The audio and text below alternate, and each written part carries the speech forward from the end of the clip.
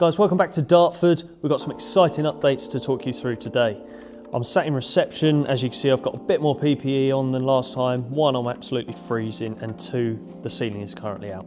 So I'm going to take you through some of the changes that have been put in place since we were here last time, back in, I believe, October. And you're going to see the new chillers which have been delivered, the fuel tank, the gens have been repositioned, there's a new mezzanine floor, uh, turnstiles in, the turnstiles in, man and we've also got the ductwork up for the new pods upstairs. So we're gonna go find Callum, who's currently up there waiting for us, and he's gonna show you inside. Stay tuned.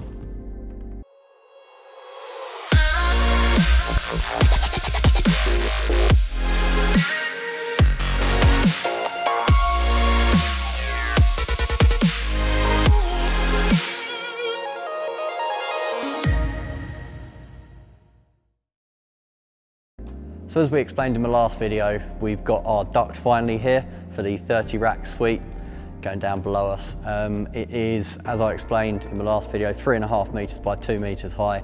Can't really get an idea of how big that is until you stand in front of it. It's huge. Um, we've got 30 meters cubed a second running through this duct. So it's you know three, four times more than we've got in any of the data halls at the Maidstone site. Um, we've got manual control on the bottom of these for the VCDs. That's to allow us to balance the load because uh, depending on clients that go into this suite, we could have a lot more load to the front of the hall, we could have a lot more load to the rear. And as we've got a central hot aisle, it's important to balance the airflow from front to back to ensure we get even distribution of the air across the, the uh, higher density racks. Um, within this duct, as hopefully we'll show you on some B-roll, uh, we've got six fans at the other end. The six fans uh, allow us for an N plus one. It's actually slightly, well, slightly better than an N plus one, to be honest. We could lose two fans and run on just the four.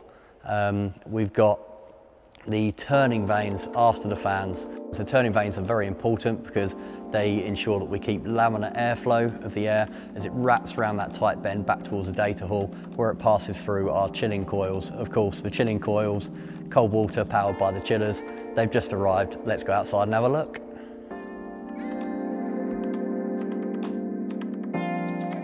So here we are at the chillers.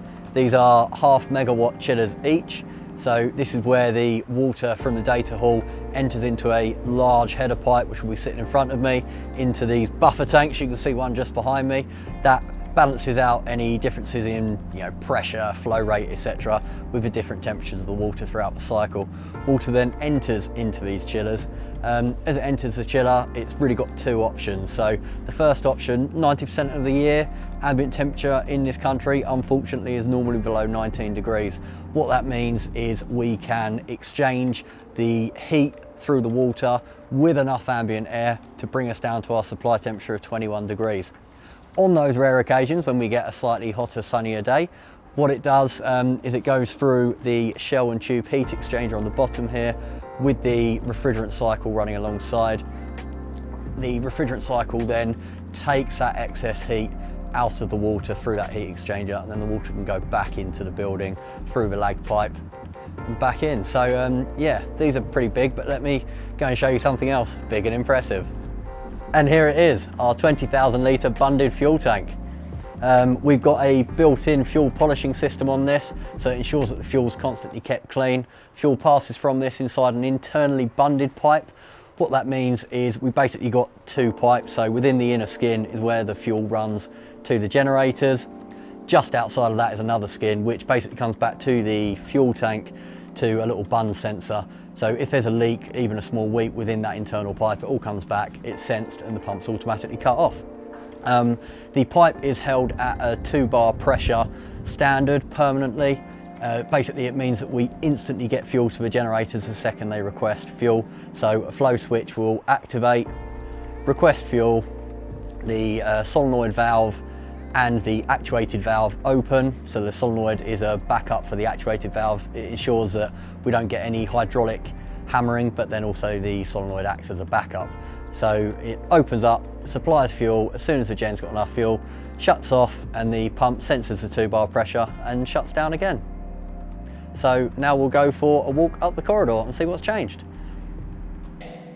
You remember those orange fences from last time? Well, here we go. Now we've actually got rooms built. So it's just important for us to have um, really good facilities for the clients as well as just worrying about the data halls. So we've got um, to my left here, just around the corner, you can't really see it, we've got a breakout area for any engineers on site, especially late, at, late in the evening. It's nice to be able to make yourself a coffee and that. We've also got a dedicated meeting room for clients, so clients can actually book out their own meeting room space. They've got project managers down here, they can kind of converse with the build team and everything. We've also got a demo suite here on our left. So the, um, the demo suite is kind of, while we're selling it, it's going to be used as basically a demonstration of all the different all different items that people can have in their racks and stuff, um, and then eventually it'll be turned into something different. As of what? Don't really know yet. So, so as you see, the turnstile behind me is one of the many layers of security we've got here.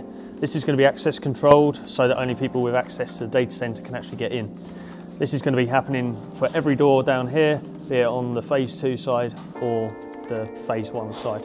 So the access control will be going in soon and you know it'll, it'll have all different levels of authentication depending on what the customer requires including biometrics. Um, and we've got some really cool doors up here that we're going to show you. You can see here we've got all the cables for phase one as well. So um, our team of electricians are currently installing the lighting, cleaner sockets, everything I spoke about in the last video. You can see it going in above us now. These are the doors we were talking about. If we stop at this door just back here on your right and my left, um, you can have a look at them.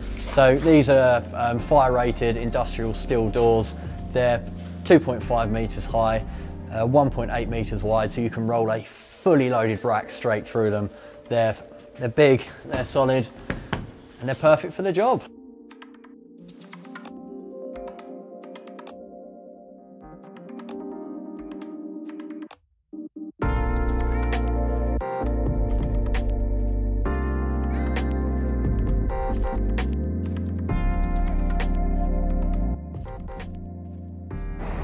So guys, slight wardrobe change. We're actually filming this after we shot the rest of the video, purely because we had some issues come up in the editing stage. So we've done an intro that wished everyone Merry Christmas, Happy New Year, but that's now past. So we're just gonna wish you a happy 2022, and we're gonna show you what's going on in the next video, because a lot has changed in the last few weeks, so stay tuned.